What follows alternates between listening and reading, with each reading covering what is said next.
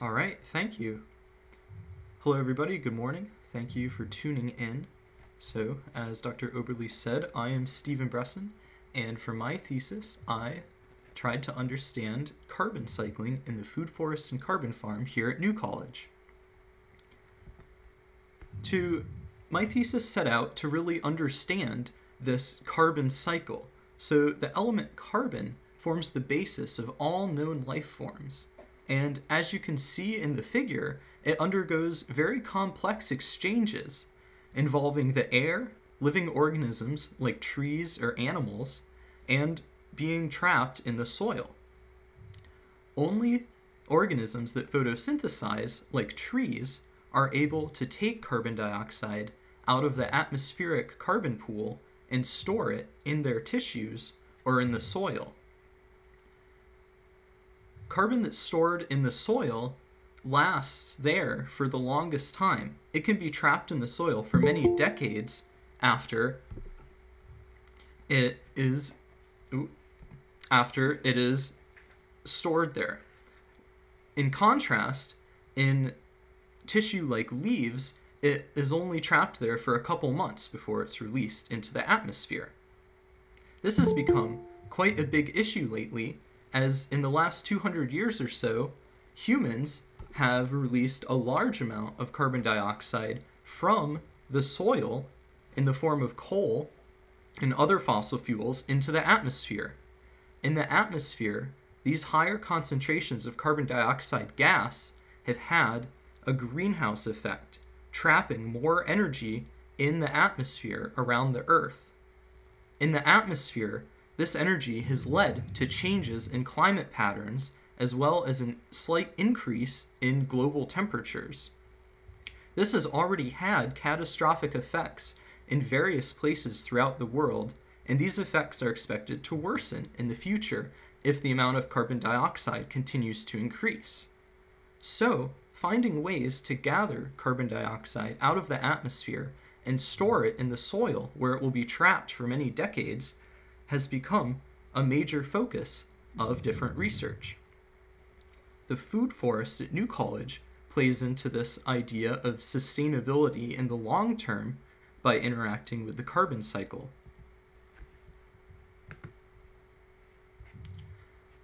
The food forest is based around a framework known as permaculture, which emphasizes planning ahead for the future and creating systems that will last for many generations, storing valuable resources like water, carbon, and food production locally, and embracing whole systems thinking and having a holistic approach to management. In an agricultural area, this holistic approach teaches us that soil quality is the driver of success of all other organisms in the area. To produce the best crops, we need to have high quality soils. The food forest itself at New College is a relatively small area. You can see here the a satellite photo of the Caples campus provided by Google Earth with the approximate area outlined. And the food forest was first planted in 2016, so it's about four years old, and it's maintained by the Council of Green Affairs through both paid student work and volunteers. Over the last four years, you can see that there have been some big changes in the food forest. It started as just a lawn, and now it has many different stories of plants all growing. But underground, what you cannot see in this photo is a similar incredible change has occurred in the soils, and the rather marginal soils of the lawn have become very rich and bursting with life. My overall question about the food forest and lawn areas was if the soils of the food forest were higher functioning than those in the lawn. I was curious if the soils of the food forest were better able to provide plants with the conditions that they needed to thrive. To help inform my answer to this research question, I formed three testable hypotheses about the soils. My first was that there was a greater increase in organic carbon, which is the type of carbon most accessible to plants and other organisms in the food forest and carbon farm, than in the lawn across all strata of soil. Strata are the different layers of soil. My second hypothesis was that microbial activity was also higher in the food forest than it was in the lawn area. Microbes form symbiotic relationships with many plants and assist in nutrient access and uptake, which can help increase their overall growth rates. My final hypothesis was that the food forest has a higher yearly carbon budget than the lawn, meaning that the food forest both takes in more carbon through photosynthesis and releases more carbon through microbial activity every year than the lawn. So, armed with these hypotheses, I set out into the field to take some measurements that would provide evidence to support or refute these hypotheses. So, with my meter tape, I set up some transects in the lawn and in the food forest and use a coring device to take soil cores at regular intervals. And I divided the soil into different strata based on its depth. However, there was a difference between the food forest and the lawn because the food forest has had additional berm layers built up on top of the normal soil that was already there. So we can see that the food forest has slightly deeper soil overall than the lawn in this figure. Once I had the soil, I took them back to Dr. Oberle's lab. And you can see in the top photo with the jars, I measured the release of carbon dioxide from individual soil samples to determine the microbial activity. Once I had done that, I placed the samples in a furnace at 550 degrees Celsius. At this temperature, all of the organic carbon present in soils, the kind that's most accessible to other organisms and plants, burns away.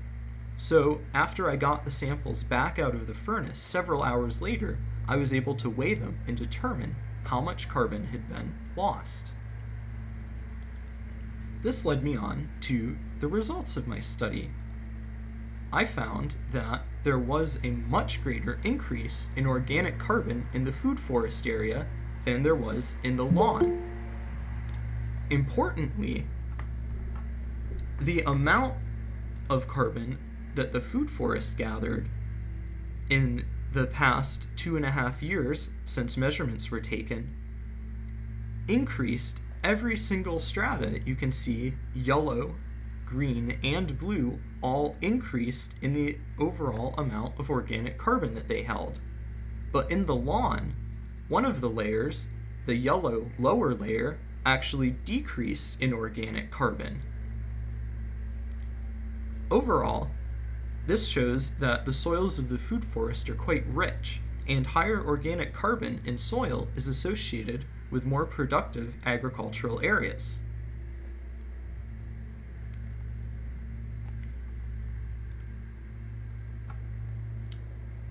I also found that microbial activity was higher in the food forest than it was in the lawn, about four times higher, in fact.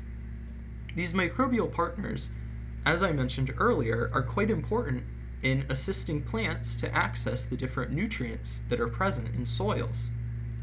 This upper layer that I measured is shared between both the lawn and the food forest, so it can serve as a direct comparison to the two different management styles applied when maintaining the lawn or maintaining the food forest. My final hypothesis was that the food forest has a higher yearly carbon budget. My results show that this is indeed true. The food forest gathers about 15 times as much carbon through photosynthesis as does the lawn, and it also releases about seven times as much carbon through microbial respiration than does the lawn. The food forest uses more carbon every year than the lawn area, but it also stores more of that carbon every year than the lawn area does. These results brought me on to my conclusions that, firstly, every layer of soil in the food forest has increased in organic carbon since measurements were taken in 2017. Secondly, was that the food forest demonstrated four times as much microbial activity. And thirdly, that the food forest can store 15 times as much carbon in its soil each year than compared to a lawn. So these were my final numbers that I got that kind of represent the food forest and its different habits and activities. Now that I had them, I was curious how they compared to some other sort of agricultural orchard system. I found a study about peach orchard in Italy and found that the peach orchard was able to store about four times as much carbon through photosynthesis is the food forest, while it released about five times as much carbon as the food forest. So it seems similar to the example with the food forest and the lawn that the peach orchard is once again both intaking more carbon dioxide and releasing more carbon dioxide each year than the food forest.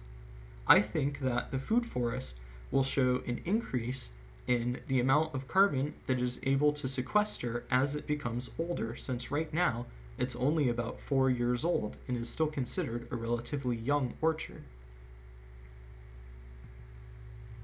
The final discussion about the results of everything that I found in my studies at the food forest show that food forest systems can sequester 15 times as much carbon as alternative popular land use types like lawns can.